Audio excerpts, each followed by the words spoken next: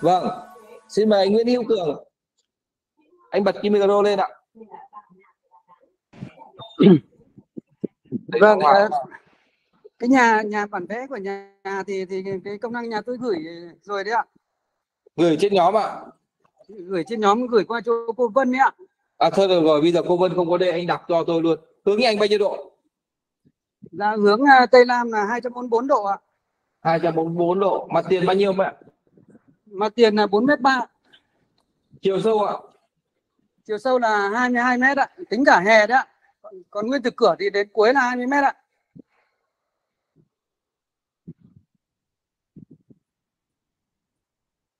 Rồi. Anh ơi khi phần cuối dạ, ở phần cuối bên tay phải nó bị bị một góc khuyết ở phần cuối là cái đoạn khoảng ờ, 4 mét cuối ạ là bị góc khuyết mất một một mét ở chỗ ạ bên tay phải là bên tay phải từ trong nhìn vào hay từ ngoài nhìn ra? À từ bên tay trong phải nhìn là ra. từ từ từ cho từ trong nhìn ra đấy ạ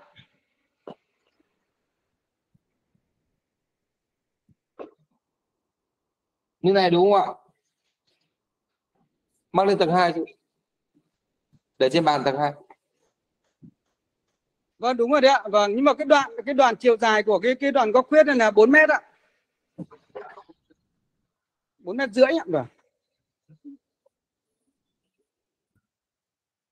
đấy đúng đấy đúng thế ạ và Cái phần đất này anh làm gì? Anh làm sân này hay làm gì? Hay là đất nhà khác? không ạ cái chỗ là cái chỗ là đất của nhà hàng xóm ạ bởi vì thế này ạ chứ là trước đây nhà tôi thì tôi mua cái thổ đất có 3 mét ba nhưng khi mà tôi làm nhà thì tôi lại mua thêm cái mảnh đất bên cạnh tôi cắt sang một mét nhưng mà cái nhà bên cạnh nó chỉ dài được có thế đấy ạ Vâng, được rồi ạ. 244 độ. Anh ơi, đi từ cửa vào Vâng. Dạ. thì cầu thang ở bên một hay ở bên hai? từ cửa cửa từ cửa từ cửa vào nào đi từ cửa vào thì bên tay phải ạ Đây cầu thang bên này đúng không ạ? vâng đúng ạ Cách mấy cầu mét? thang ấy là từ ở giữa nhà đấy ạ tức là tức là từ ngoài cửa vào Anh anh để cho em hỏi là 8 mét thì đến cầu thang ạ rồi anh cứ để em hỏi xong anh trả lời thì nó dễ hơn nhá. Nghĩa là đi vào 8 Vâng, mét vâng. đi cầu thang đúng không? Anh cứ bình tĩnh để em hỏi anh thì anh anh sẽ dễ trả vâng lời đúng hơn. ạ Vâng. Rồi anh Vâng. ơi, bây giờ cái nhà vệ sinh anh đặt chỗ nào? Góc một cái nhà vệ sinh À. vệ sinh ở cuối cùng ạ hẳn hết cuối à?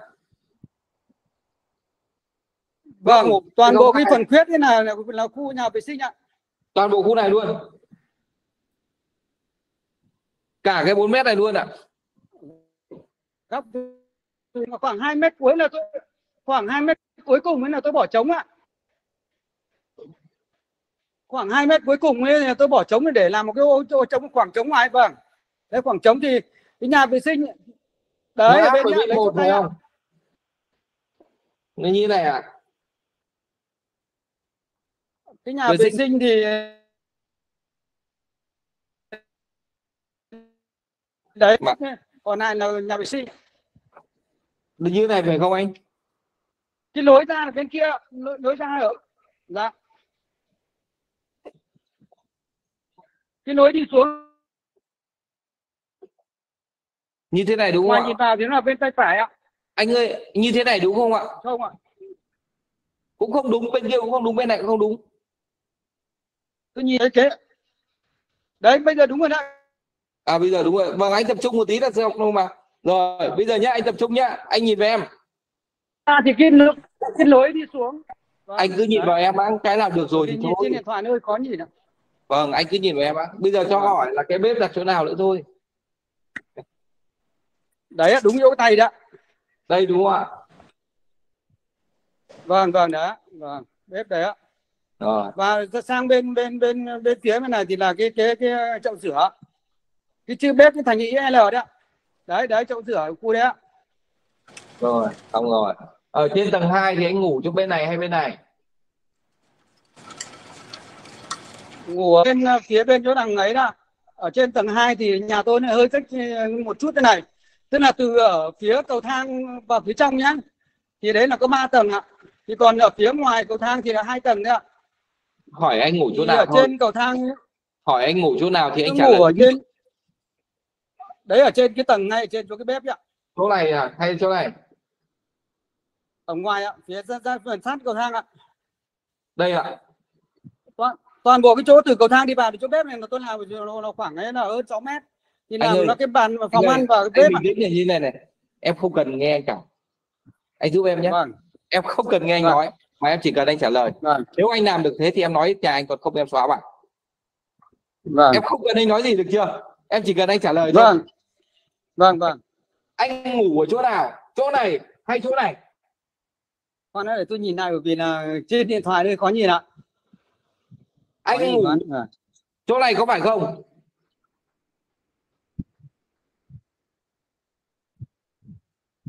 Tôi ngủ ở trên trên chốc cái chỗ ở ở cái chỗ bên, bên trên cái bếp phía ngoài Thôi được rồi. bỏ qua cái việc em không cần phải xếp chỗ ngủ anh em nói luôn.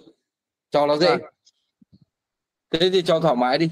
Cho anh đỡ phải đau đầu. Mà anh Vâng. đỡ phải kể anh kể em cũng biết đâu mà như thế này Dạ. anh xác nhận cho em là cuối anh có cái sân 2 mét để thống chống đúng không?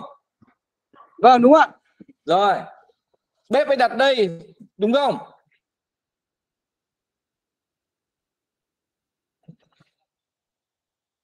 Vâng. Rồi. Cái đường trước nhà của anh mấy mét?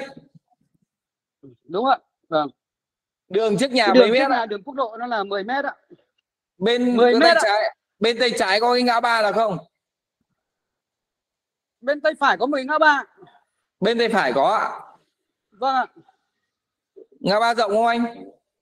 Ngã ba rất là rộng ạ. Đây là đường quốc lộ đấy ạ. cách nhà bao nhiêu mét? Cách nhà thì khoảng à, hơn 50 mét ạ năm 60 mét. Năm sáu mét rồi thế được rồi. Vâng. Thôi nó không có gì đâu. Nhà anh thì đơn giản thôi. Thứ nhất là nhìn vào hình thế thì đã ra rồi. Bởi Vâng. vì là như thế này không phải nhà anh mà cứ nhà nào mà trước lớn sau nhỏ thì khi vào sau ấy thì khí nó càng ngày càng ít đi.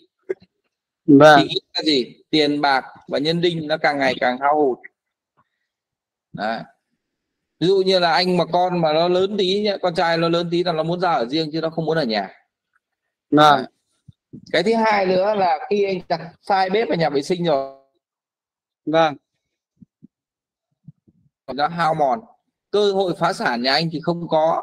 Nhưng đầu tư 10 thì thu về 9 đầu tư 9 thì thu về 8 đầu tư 8 thì thu về 7 nghĩa là nó cứ hao dần. Có những ông thì nó đánh quỳnh nó phát là ngất luôn nhưng mà nhà anh thì không ngất được ngay đâu. Mà cứ đầu tư thì nó ngót đi thôi. Đấy. cái tiếp theo là cái việc xử lý ở chỗ cái người chủ nữ ấy, là vợ của anh ấy thì bản chất là không phải nói, không phải nói nhiều là đánh đá, mà bản chất là bất an Đấy. nghĩ nhiều, suy nghĩ nhiều Đấy. cái gì cũng không an tâm, cái gì cũng không vừa mắt, cái gì cũng không vừa lòng Đấy. và cũng là cái cổng cửa nó lỗi, thì nó còn không những liên quan đến vợ anh, mà liên quan đến công việc đầu vào của anh Đấy. nó không được thuận lợi. Thế thì mới nói rằng là như này, tại sao trường hợp nhà anh thì không phải là phá sản, mà là hao hụt? Bởi vì nó hai trường hợp là khác nhau. Bởi vì khi mà công việc nó vào vừa phải và phía sau nó hao dần, thì nghĩa là gì? Không có cơ hội lớn để phá sản. Đấy. người ta chỉ phá sản khi người ta có một cái đầu vào quá nhiều và phía sau người ta không giải quyết được, thì nó mới gọi là phá sản. Nó mới có cơ hội để phá sản. Còn như nhà anh là không có cơ hội để phá sản đấy, nó nằm trong trường hợp đấy, đấy. Anh, anh hình dung chưa?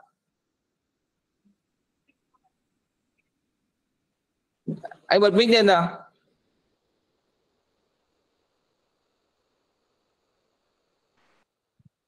Được anh, chưa? anh hình dung về nhà mình như thế chưa? Vâng hình dung được rồi ạ. Vâng. Thế có cần phải chữa không hay là không đúng thì không chữa? Bây giờ cần phải chữa cái bếp bây giờ là cái bếp thì phải chữa như thế nào ạ? Cái bếp với nhà vệ sinh ạ? Trực tiếp đây này. À đấy. Thì cần phải chữa thì nếu nó đúng thì chữa còn không đúng như thế thì thôi. Vâng đúng như thế đấy vâng. Vợ có gần đấy không? Vâng. Vợ có gần đấy không? Ngồi cạnh không không, không ạ. Vợ không ở gần đây ạ. Thế, thì, thế thì có bị áp lực vì vợ không? À không. Vâng. Của nhà anh thì như thế này vâng. À, và nhớ rằng là cái cách chữa của tôi thì toàn đập phá thôi mới chuyển thôi. Vâng. Bởi vì bản chất là không phải như thế thì không làm như thế thì không được. Vâng. Thì như thế này anh có nhìn được vào bảng không? Thì để trước này. Anh nhìn được tôi tôi, tôi chỉ không? Có có được nhìn được vâng. Nhìn nhìn được cái gì? Vâng. thì bây giờ là như thế này. Nhà của anh là trước lớn sau nhỏ. Thì đầu tiên là Vâng. phải chữa về cái hình thế trước cho nên là phải ngăn giữa nhà và cái sau ấy thì thành một cái sân. Cái sân của anh bây giờ đang đặt ở cuối. Thì bây giờ ta đưa lên giữa. Để cho giữa nhà và phần sau là nó cắt nhau một khoảng. Vâng. Sau đó thì cái nhà vệ sinh có thể chấp nhận là cho cái nhà vệ sinh xuống cuối này. Vâng. Bởi vì trên khoảng này nó quá hẹp bởi vì tôi nghĩ là nó không có đất. Vâng. Thì giữa cái nhà vệ sinh và cái nhà này nó sẽ không liên quan đến nhau nữa vâng. Bởi cái khí này nó có một cái khoảng trống này để nó tác động nó không tác động lên nhà. Thế còn cái bếp thì có thể là sẽ chuyển sang bên này. Để tôi nghiên cứu xem nó như thế nào. Bởi vì Vâng. của anh là đây là thân. Sang đây là canh đậu tân. Thì rất có thể đối diện với canh là giáp thì sang đây đặt sang bên này thì nó sẽ tốt cho cậu con trai nhà anh. Vâng. Đấy thì ta nên đặt sang bên này thế còn cái nhà vệ sinh thì nên đẩy hết xuống cuối và để khoảng- cách một cái giếng trời để nó cắt ra sau. Nghĩa là về mặt nguyên lý nhà mình nó chỉ đến đây thôi. Anh hiểu chưa? Vâng. Phải chữa là chữa hình trước xong rồi chữa nội dung sau. Vâng. Đấy. Thì giải giải quyết được cái công việc phía sau nghĩa là làm mà nó không bị hao hụt. Còn cái phía trước ấy mà làm cho bà xã của mình mà đỡ nói nhiều mà làm cho công việc mình ổn định ấy đây là chữa bệnh cho bà ấy nhá chứ không phải là Dạ. chữa cái gây gớm bởi vì bà ấy luôn bất an đấy. Thì ta đặt một cái thạch thủy bình ở bên này. Và các tầng đặt đồng bộ ở bên này. Bên trái này. Vâng. tí được. Nha anh nhá. Vâng. Rồi thế thôi. Ờ, thế thế thế này. Tức là cái chỗ mà cái khoảng mà từ cái chỗ trong chỗ cái bếp hiện tại tôi đang làm ấy thì trước đấy là cái giếng trời thầy ạ. Xong là tôi vịt nó vào đấy. Ôi trời Đấy, được rồi. Đấy anh Vâng. nghe anh hiểu vấn đề rồi đấy nhá. Vâng vâng dạ. Vâng. Nhà anh Vâng, ở đâu dạ. ạ? Dạ tôi yên bái thầy ạ. Yên bái yên bái ở chỗ nào ạ? Cô cảm ơn, cô yên cảm ơn. huyện yên bình ạ. Các anh đừng bật mic tự do nhé. Huyện yên bình là cái giáp danh với thành phố yên bái. Yên bình ạ. vâng. Em tưởng Vâng. anh ở tiết lộ thì là em thỉnh thoảng em lên đấy em để qua rẽ cho anh vâng tôi ở yên bình ạ vâng rồi. Xin cảm ơn anh. Anh sinh Dạ, năm bao vâng, nhiêu cảm vâng cảm ơn thầy vâng. Vâng